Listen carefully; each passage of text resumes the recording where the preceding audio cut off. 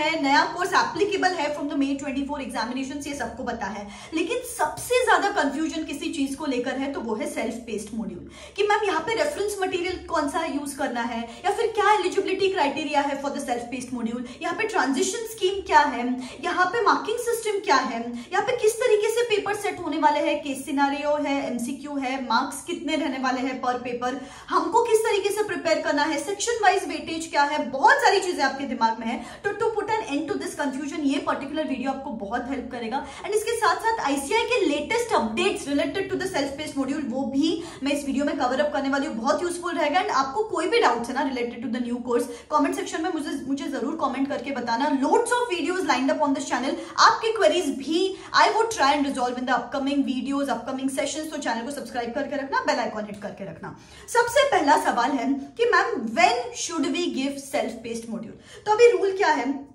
जो भी आप फाइनल एग्जामिनेशन देते हो before giving your final examination you should clear all the self paced modules लेकिन यहाँ पे एक्सेप्शन क्या है?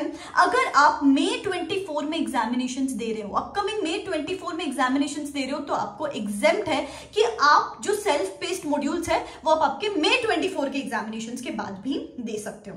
अभी सेल्फ पेस्ड मॉड्यूल किस तरीके से कंडक्ट होने वाले हैं मैम सी अभी तक का क्या इंफॉर्मेशन था? कि होम बेस्ड आपको घर पे बैठ के एग्जामिनेशन देना है. But as per the latest news as per the latest updates ICAI centres establish कर रहा है. कंप्यूटर बेस्ड सेंटर्स जहाँ पे वो सेंटर्स पे जाके आपको वो एग्जामिनेशन देने हैं. एंड वो एग्जामिनेशन का रिज़ल्ट आपको इमीडिएटली आ जाएँगे बेस्ड अपॉन आपका परफॉर्मेंस वहाँ पे. तो this is not going to be home based this is going to be centre based कि आपको सेंटर पे जाके एग्जामिनेशन देने हैं. नेक्स्टली मैम यहाँ पे सब्जेक्ट्स क्या होंगे? See there are going to be four sets here there are going to be four sets set A जो आपका लॉ है, जो आपका group one C A final में जो लॉ हुआ करता था दैट इज़ नाउ रिमूव्ड आपको अभी सीए फाइनल में लॉ नहीं है and that is converted to a self based module that is set A set B is CA final group two में पहले एससीएमपी सब्जेक्ट हुआ हुआ करता था paper five that is now removed and that is converted to the self based module that is set B set C में आपके पास दस option है। टेन ऑप्शन है उसमें आपको कोई भी एक ऑप्शन सिलेक्ट करना है। एंड सेट डी जो है, उसमें आपके पास फोर ऑप्शन है। उसमें आपको कोई भी एक ऑप्शन सिलेक्ट करना है। तो these are going to be the subjects for self based module अभी इसके बाद क्वेश्चन आता है कि, मैम, इसका रेफरेंस मटेरियल क्या होगा?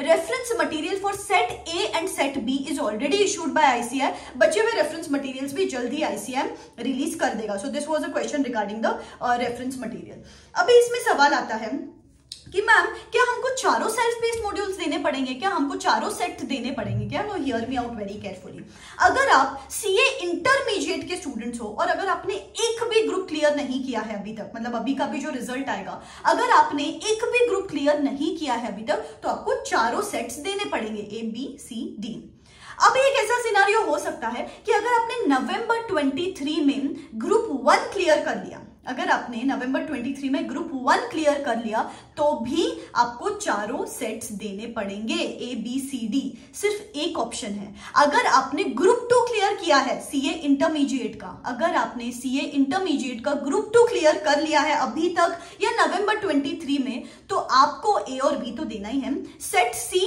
और सेट डी में से एक ऑप्शन है। इन दोनों में से कोई तो एक सेट आपको देना है। ठीक है? तो this is for the CA intermediate students CA final के स्टूडेंट्स सीए फाइनल के स्टूडेंट्स अगर आपने अभी तक, या नवंबर 23 में भी, अगर आपने ग्रुप वन क्लियर कर लिया सपोज़ आपने ग्रुप वन क्लियर कर लिया then you are exempted from giving set A क्यों एग्जेप्टेड बेटा क्लियर लॉजिक है ना? सेट ए इज़ लॉ और लॉ अगर आपने ग्रुप वन में क्लियर कर लिया है तो फिर वो देने की ज़रूरत नहीं है। और अगर आपने ग्रुप टू क्लियर किया है, अभी तक या फिर नवंबर 23 में सी फाइनल का अगर आपने ग्रुप टू क्लियर कर लिया then you are exempted from giving set B you are exempted from giving set B और सीए फाइनल के स्टूडेंट्स को तो सेट सी और सेट डी देना ही नहीं है अगर आपने इंटरमीडिएट क्लियर कर लिया है। तो अगर आपने either of the groups clear कर लिया है सीए फाइनल का अभी तक अभी कर लोगे सेट सी डी देना नहीं है ए और बी में से एक ही देना है डिपेंडिंग अपॉन कौन सा ग्रुप क्लियर किया है। सो so, ये ट्रांजिशन रिलेटेड बहुत बड़ा सवाल था अपने दिमाग में। इसको रिलेटेड भी अगर आपको को कोई भी सवाल है मुझे कॉमेंट सेक्शन में ज़रूर कॉमेंट करके बताना। This was the major major issue जो बच्चों को फेस हो रहा था। इसके साथ साथ मैम पेपर पैटर्न क्या होगा बेटा? एमसीक्यू बेस्ड होगा। एंड जो ए और बी पेपर्स है, इसमें आईसीआई ने बोला है, यहाँ पे एक्सपर्ट लेवल नॉलेज चाहिए आपको। These are going to be the expert level papers यहाँ पे केस सिनारियो बेस्ड क्वेश्चंस हम पूछेंगे। तो यहाँ पे ज़्यादा इन डेप्थ स्टडीज़ लगेगी और सेट सी और डी में नॉलेज बेस्ड क्वेश्चंस पूछेंगे आपको। हंड्रेड मार्क्स के पेपर्स रहेंगे एमसीक्यू बेस्ड रहेगा no negative marking so that's a good news no negative marking and one more good news is कि आप ये पेपर्स मल्टीपल टाइम्स दे सकते हो। मल्टीपल टाइम्स दे सकते हो एंड ऐसा कुछ रिस्ट्रिक्शन नहीं है on the number of attempt also ये एग्जामिनेशन देने के लिए आईसीआई ना अपने डिजिटल लर्निंग हब पे कुछ लेक्चर्स डालने वाला है। तो there is going to be a requirement कि आपको कंपलसरी लेक्चर्स देखने पड़ेंगे। वो लेक्चर्स कुछ number of specific hours ICAI specify करेगा। सिर्फ़ उतने स्पेसिफिक आवर्स देखने के बाद ही would be eligible to go and attempt the upcoming examination upcoming self based module तो वो लेक्चर्स आपको देखना मैंडेटरी रहेगा। Next I think yes minimum 50 percent requirement है।